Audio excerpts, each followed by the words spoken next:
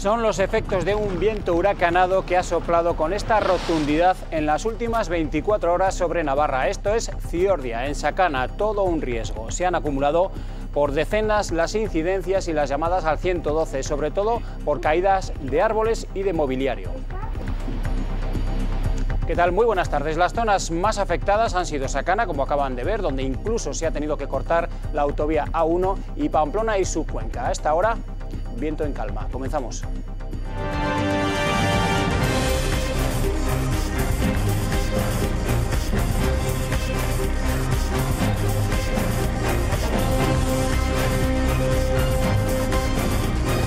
Servicios informativos de Navarra Televisión.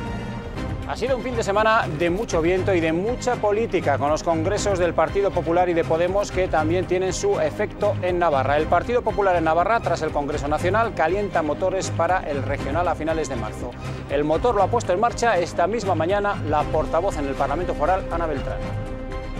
Ana Beltrán considera que tiene el deber y la responsabilidad de presentarse. Creemos que estamos haciendo una oposición valiente, responsable y por eso considero que es natural que la portavoz parlamentaria opte a la presidencia del partido en Navarra. Ana Beltrán, que da el primer paso en la carrera por dirigir el partido en Navarra. Estuvo junto al actual presidente de la gestora, Pablo Zalba, en el Congreso en Madrid y amplia representación también de la delegación navarra de Podemos en Vista Alegre 2, con la secretaria general Laura Pérez y los elegidos para el Consejo Ciudadano, la diputada Ione Belarra, la senadora autonómica Idoia Villanueva y Guillén Carroza. Y también el fin de semana nos deja, como van a ver, imágenes, enseguida los vemos, de solidaridad. Pero antes, una apuesta por esta casa, una apuesta de un programa que van a poder ver a partir de las nueve y media de esta noche aquí en Navarra Televisión. La Muga, información y entretenimiento a partes iguales, echa a andar en el quinto aniversario de Navarra Televisión. Estas son las imágenes a las que nos referíamos. Este pasado fin de semana, la imagen de los presidentes de Osasuna y el Real Madrid en favor de la lucha contra el cáncer, que además tuvo una excelente respuesta en esta carrera en la Universidad de Navarra. Fin de semana de ferias en Tafalla con una gran acogida de público a pesar del tiempo que no ha acompañado gastronomía y ganado, además de la rifa del puto divino para el Santo Hospital. Nos encontramos a las puertas de un nuevo derby navarro en la primera división del fútbol sala. Magna Gurpea y Aspil Vidal se van a enfrentar mañana martes en Anaitasuna. Ambos equipos van a llegar al choque después de ganar sus respectivos partidos del fin de semana. Los dos anotaron cinco goles en el doble compromiso navarro-gallego jugado y que vamos a repasar.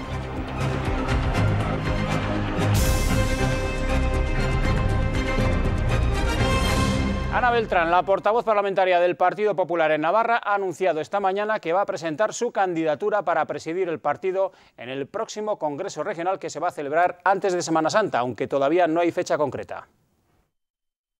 Ana Beltrán considera que tiene el deber y la responsabilidad de presentarse, así, así lo creo, así me lo han hecho saber y me lo han pedido eh, los afiliados de, Navarra. Consideramos que, el Partido Popular tiene que decir mucho en, esta comunidad. Creemos que estamos haciendo una oposición valiente, responsable y por eso considero que es natural que la portavoz parlamentaria opte a la presidencia del partido en Navarra.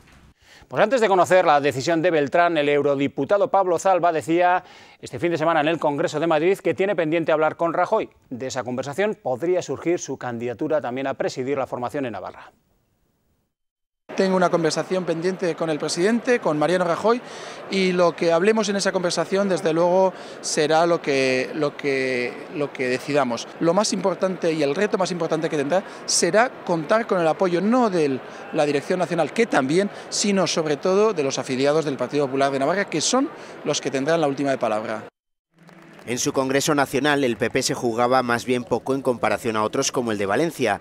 Rajoy revalidó el liderazgo de los populares de forma abrumadora y sin rival y mantuvo a los pesos pesados de los últimos años. Crea el puesto de coordinador para apoyar a la secretaria general María Dolores de Cospedal. Los navarros presentes veían muchas diferencias con otras formaciones. Un partido que se caracteriza ahora mismo por la unidad que no existe en otros partidos. Ya vemos cómo está el Partido Socialista, cómo está Podemos, que hoy también, bueno, que estos días también celebra su, su congreso. Los populares navarros defendieron el régimen fiscal propio de nuestra comunidad a sabiendas de que desde Bruselas se va a favorecer una unión fiscal para toda Europa. Se abogaba en la ponencia por la unión fiscal, que es un camino ineludible, no tenemos otro camino, pero se ha añadido una ponencia de nuestros senadores haciendo hincapié en que esa unión fiscal a nivel europeo siempre tiene que ser compatible con el régimen foral. El eurodiputado buscó en el Congreso el apoyo a otro sector estratégico para Navarra como el agroalimentario. El sector agroalimentario debe convertirse en el motor del crecimiento y creación de empleo de la comunidad foral, especialmente de una región como es la Ribera, que está especialmente castigada por el paro. El Congreso del PP escogió a la senadora navarra Cristina Sanz como nuevo miembro del Comité Ejecutivo Nacional. Pues en Podemos, Pablo Iglesias y su equipo se impusieron de forma clara en la Asamblea Ciudadana al resto de opciones. El actual secretario general revalidó su puesto y además consiguió vencer al equipo de Rejón en el número de consejos de consejeros elegidos por las bases para el Consejo Ciudadano y en los documentos también organizativo y político. A Vista Alegre 2 se llegó con un partido dividido y con cruce de acusaciones entre los dos equipos principales. La Secretaría General en Navarra, la Secretaria General en Navarra, Laura Pérez, considera que la secretaria general de Podemos ha afirmado que el conclave ha contado con un ambiente positivo y constructivo.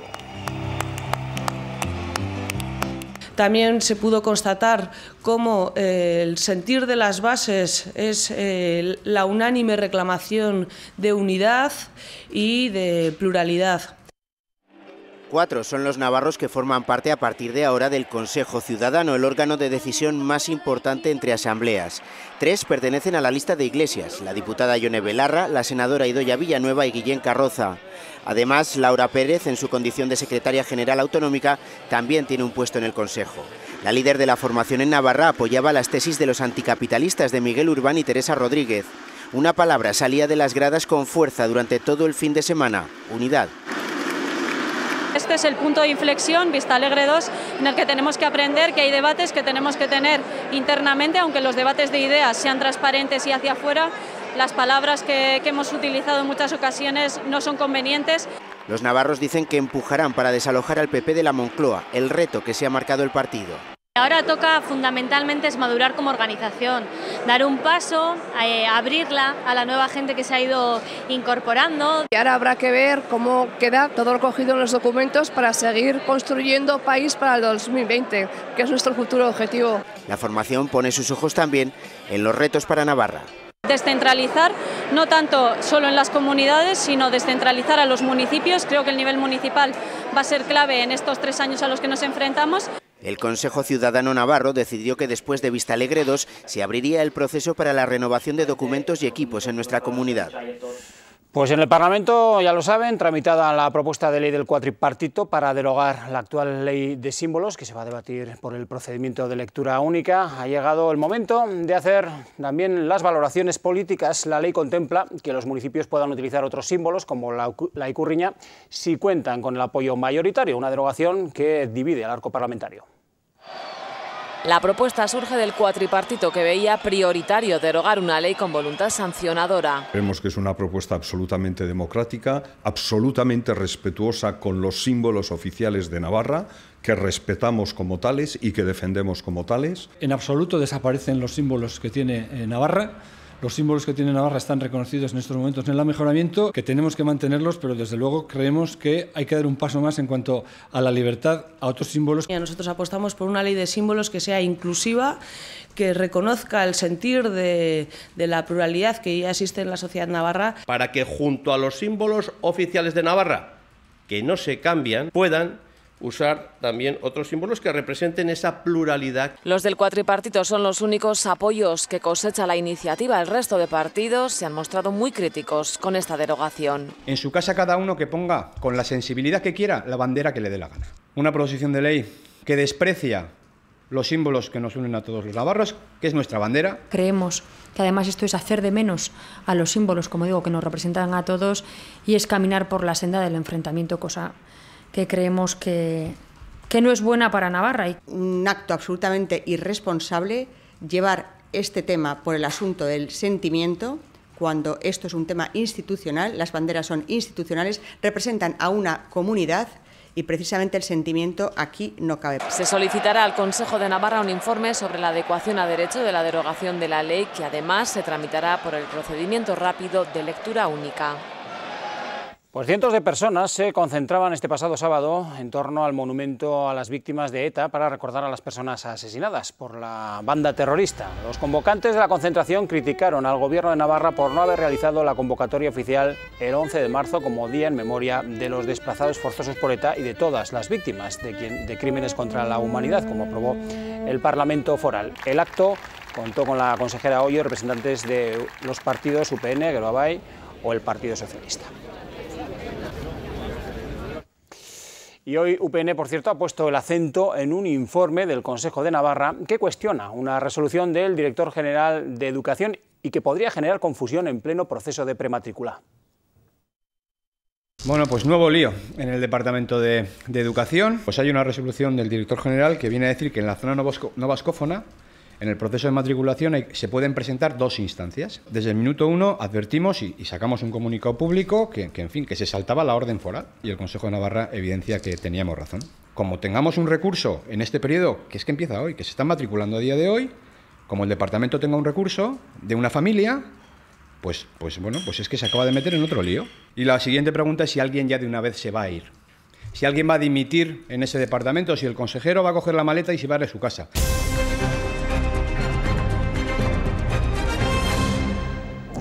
Hoy han tenido mucho trabajo, son operarios municipales en Pamplona, cortando a pedazos ese enorme árbol que ayer derribaba el fuerte viento sobre una mediana en la avenida de Villaba, en el barrio de La Chantrea. La imagen bien puede ser la misma en un buen número de localidades navarras. Más de un centenar de incidencias en toda Navarra a causa de los fuertes vientos que en algunos puntos han superado los 100 kilómetros por hora. En Sacana han volado tejados y chapas. En Pamplona un árbol ha aplastado un coche y un peatón ha resultado herido. Arrancado de cuajo, así ha quedado el tejado de esta empresa abandonada en Ciordia. El fuerte viento registrado en Sacana ha movido chapas de más de 3 metros como si fueran de papel. Las rachas de viento en Sacana están siendo extremadamente fuertes. Así ha quedado esta empresa abandonada de Ciordia que ha perdido toda su estructura. En algunos momentos es incluso complicado mantenerse de pie. Y es que Sacana ha sido una de las zonas más afectadas por las fuertes rachas de más de 100 kilómetros hora. La Nacional 1 ha sido cortada al tráfico pesado a la altura de Ciordia. Se ha desviado la ruta de camiones por Echegarate y la autovía de Leizarán. El polígono de Alsasua muestra las cicatrices de una noche complicada en la que tejados y vallas publicitarias de grandes dimensiones como esta han quedado a merced del viento. Las emergencias de la zona han atendido numerosas caídas de tejas y árboles. Sí, muy fuerte. Está mal, está mal. Está un día infernal. Luego ha tirado un árbol ahí con unas raíces. Y no, mucho. Sí, mucho, mucho, mucho, sí. Mucho. Y todavía anda. Hace poco me ha, me ha fastidiado un paraguas a mí.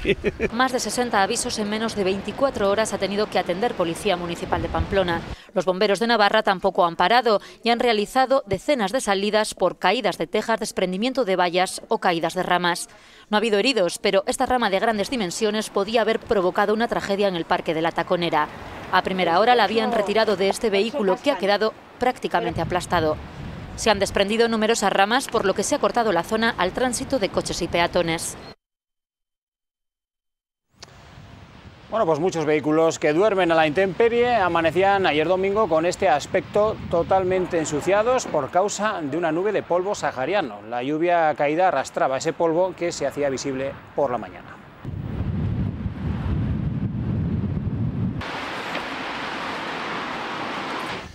Y el Ayuntamiento de Pamplona va a iniciar un proceso participativo con el sector turístico para consensuar estrategias de cara al plan estratégico de turismo que se está elaborando. Se va a establecer siete mesas temáticas específicas en las que se quieren abordar aspectos como San Fermín, la gastronomía, el Camino de Santiago, la cultura o el patrimonio. La concejala Patricia Perales ha presentado el primer documento de trabajo para el desarrollo del plan estratégico. Incluye información sobre la oferta y la demanda turística, recursos estrategias de promoción y de producción, o también sobre las mesas de trabajo. Eh, cuando ha empezado la carrera... Uno de los pilares que se desarrolla en el plan va a ser la imagen turística que tenemos que, elaborar. Hasta estos momentos la ciudad eh, carece de una imagen de ciudad, una imagen turística que sea nuestra simbología. La Fundación Caja Navarra va a destinar este año 1.800.000 euros para financiar 347 proyectos de 282 entidades forales. La convocatoria está dividida en proyectos culturales, educativos, de deporte y medio ambiente, además de asuntos sociales. Este año, como novedad, se han premiado con 5.000 euros extra los proyectos más innovadores de cada categoría. Más de 200 niños y niñas de 22 equipos distintos participaron este sábado, este fin de semana, en la novena edición del torneo de Ciencia y Tecnología Lego League.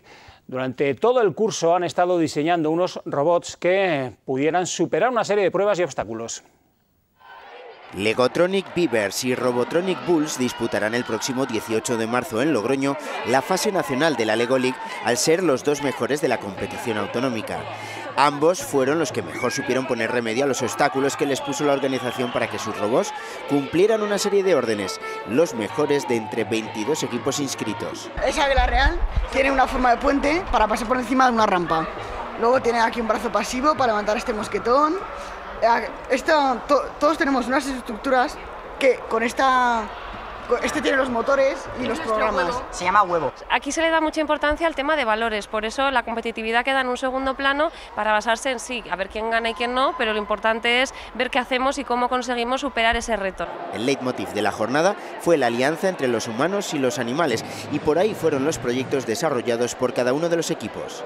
Eh, pues un aparato para evitar los atropellos de los animales y de las personas. Detector eh, que refleja en la luz eh, cuando pues pasa pues por un coche eh, activa el sonido, después el siguiente y, por último para espantar a los animales. Esto es una jaula inteligente que hemos hecho porque por algunos de nuestros aves, por ejemplo, algunos periquitos o algo así mueren por bastantes eh, cosas. Por ejemplo, sería el calor, bajaría esto, bajaría esto, este todo lo que reflejaría y a, la vez aislaría gracias al por expand la Lego League es un proceso educativo en el que niños y niñas de entre 10 y 16 años deben crear una solución innovadora a un desafío del mundo real.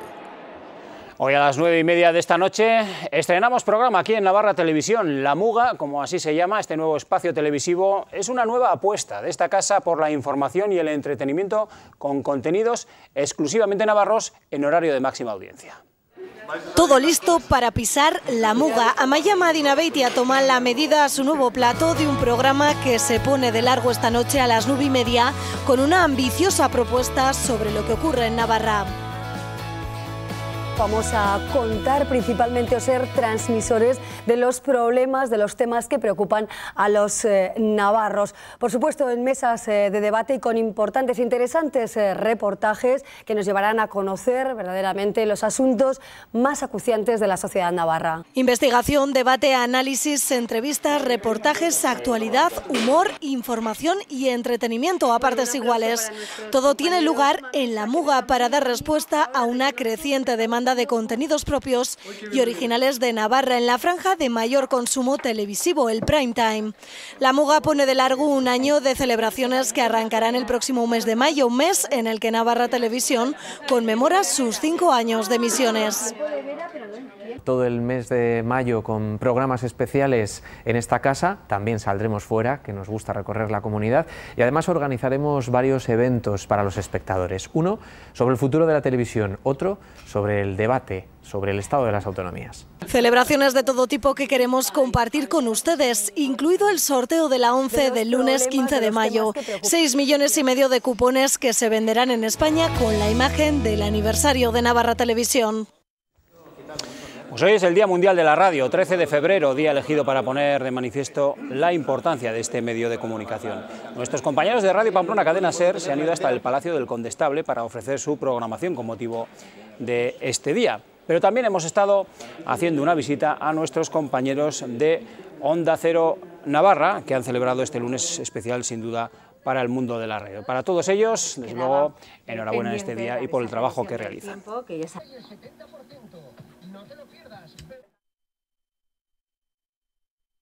Creímos en ti cuando montaste tu propia empresa. Creímos en los frutos de tu negocio. Creímos en ti cuando apostaste por tu profesión. En Caja Rural de Navarra seguimos dando crédito a particulares, autónomos, empresas, emprendedores e instituciones, porque nunca hemos dejado de creer en ti. Caja Rural de Navarra.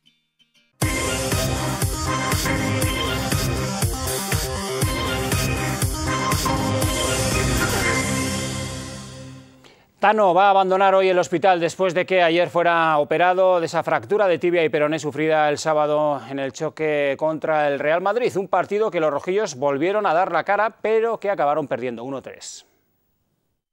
El equipo no ha, bajado los brazos, eh, siempre ha ido buscando uh, al rival, pues sobre todo triste, triste por, por otra lesión, o sea, por Tano, porque ya ha sufrido una fractura de tibia y peroné y que es pues cuarta lesión de gravedad que hemos sufrido y bueno, mandarle mucho ánimo y, y no podemos bajar los brazos.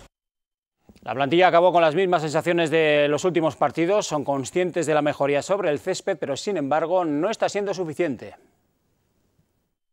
Bueno, el partido no ha sido reflejo como para que haya sido tan abultado, pero, pero bueno, eso, que seguimos compitiendo y que tiene que llegar ya pronto la victoria. Parece que nos estamos acostumbrando, ¿no? el equipo está jugando bien, no estamos, yo creo que el equipo ha dado un giro muy grande, estamos jugando yo creo que, que bastante bien y bueno, los resultados no nos llegan. Sí, la vuelta muy bien con los compañeros, muy contento de volver en Pamplona y bueno, esperamos que, que, que, que, demos mejor imagen y que ya sacamos más puntos. Te puedo decir que hemos dado buena imagen y que eso sirve porque no sirve, porque, porque al final la única manera de salvarnos es sumar puntos, no lo hacemos y, y, y, no te puedo poner ninguna excusa. ¿no? Al final llega un momento que dar buena imagen es suficiente, tienes que sacar tres puntos, tienes que sumar sea como sea y, y tendremos que buscar remedios, soluciones para dar menos imagen y sacar los tres puntos, no, no hay excusas. Magna Gurpea y Aspil Vidal se enfrentan mañana en Liga, nueva fiesta del fútbol sala navarro con este derby en la máxima categoría que va a arrancar el martes a las 8. Ambos equipos llegan a este encuentro después de ganar de forma clara a sus respectivos contrincantes este fin de semana. Magna Gurpea le tiene cogida la medida al Burela. Ambos equipos se han visto las caras en cuatro ocasiones esta temporada y todas se han saldado con victoria verde, con pase para la final de Copa del Rey incluido. El conjunto de Manuel Arregui venció por un claro 0-5 en la decimonovena jornada de Liga. Yoshikawa, que marcó el primer gol en el minuto 8, se convirtió en asistente en el segundo, que transformó Dani Saldís en el 16. Apenas un minuto más tarde, Rafausin puso el 0-3 con el que se retiraron al descanso. Y sí en propia puerta, y de nuevo Rafausin completaron una goleada que permite a Magna Gurpea seguir sexto, empatado con el quinto y séptimo, con 10 puntos de margen sobre el noveno, que le quitaría el puesto de playoff que precisamente ocupa el otro conjunto navarro de la categoría, un Aspil Vidal que está a 6 del octavo el Santa Coloma. Los riberos no pierden comba, no quieren quedar rezagados en sus aspiraciones de disputar el playoff por el título. Vencieron por 5-2 al Santiago Futsal. Tras los tantos de Lucas, el 1-0 y Diz para empatar, Rubí y Mínguez pusieron los dos goles de distancia en el electrónico del Ciudad de Tudela antes de llegar al descanso. Catela recortó diferencias en el Ecuador de la segunda parte pero Aspil mató el partido cuando su rival arriesgó con portero jugador. Mínguez logró su doblete y Hamza puso el definitivo 5-2. En primera división femenina, el Chantreano pasó del empate a 2 frente al Ciudad de Asburgas. Diez partidos acumulan las azules sin conocer la victoria, motivo por el cual cayeron a unos puestos de descenso en los que continúan, aunque eso sí, a puntos de permanencia. El próximo fin de semana visitan la pista del quinto clasificado, el Ourense. Y casi mil personas participaron este domingo en la primera carrera de niños contra el cáncer que organizó la Universidad de Navarra, un evento solidario con diferentes distancias en función de las edades, carrera que recaudó fondos para el tratamiento oncológico de los niños en la Clínica Universidad de Navarra. Pues coincidiendo con esa celebración de la carrera, los presidentes de los Asuna y del Real Madrid visitaron el sábado por la tarde a los niños hospitalizados. Ambos posaron con esas camisetas del evento y sumaron así esfuerzos en esa lucha contra el cáncer infantil.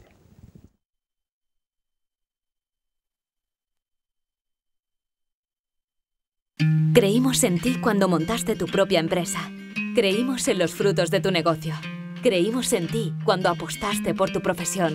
En Caja Rural de Navarra seguimos dando crédito a particulares, autónomos, empresas, emprendedores e instituciones, porque nunca hemos dejado de creer en ti. Caja Rural de Navarra. Vamos con las ferias de Tafalla que han celebrado sus ferias, como decimos, de febrero durante todo este fin de semana. Es la cuta sorteada en Tafalla y cuyos beneficios, que otros años han sido de unos 2.000 euros, van a parar, como manda la tradición, al Santo Hospital. Y a pesar de la afluencia de tafalleses en el momento del sorteo, el ganador no apareció. Intentamos que no se pierda la tradición, sobre todo, porque esto va menos a menos y es una tradición de tantos años que también giba que se pierda. La cerda compartió protagonismo con la ternera. La plaza de Navarra acogía una degustación y todos los kilos asados volaron. Una ternera asada con mimo y con una técnica especial. El asado al burunchi lo que hay que tener es su protocolo, ¿no? Las 12 horas de rigor. A las 9 y cuarto me entregaron la ternera aquí y de ahí hasta las 12 de la noche pues eh, hicimos todo el montaje, ensartar la ternera, encender el carbón, preparar bien las carpas y atarlas porque esta noche ha habido de todo, ¿no? ¿Eh? Y bueno, pues aquí he estado, de Gaupasa. ¿eh? Días muy animados por Tafalla en los que no ha faltado la música. Este año como novedad, dos actores recorrían la parte vieja de la ciudad del Cidacos para contar historias de sus rincones. ¡Ay! ¡Date quieta! ¡Que te vas a escarriar! Como diría la carpia. Las ferias de Tafalla contaron este año con el traslado de ganado vacuno a la antigua usanza con unos animales con los que está permitida la transhumancia. Nos vamos con esta imagen recogida anoche en Baluarte, concierto Voces contra el Cáncer a cargo del coro infantil y la escolanía del Orfeón Pamplonés, música elegía con carga de valores para apoyar esa lucha contra el cáncer. Así nos vamos, feliz tarde.